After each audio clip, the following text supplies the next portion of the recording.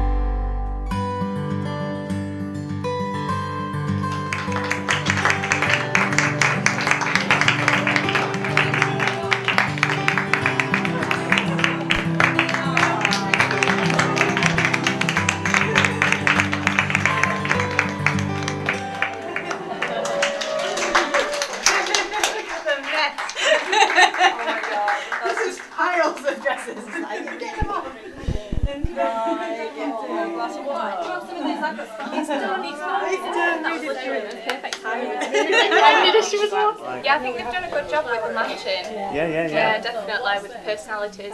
And um, when Izzy come out with the green hair and she had that dress on, just looked so beautiful and quite appealing. Really matched. So elegant as well. Yeah. And I like the colour. Yeah. I've never thought I'd like it. this. we did. Oh, oh, I also love this one because it's got pockets. Are you happy? Yeah, I'm really happy. Yeah, it was intense.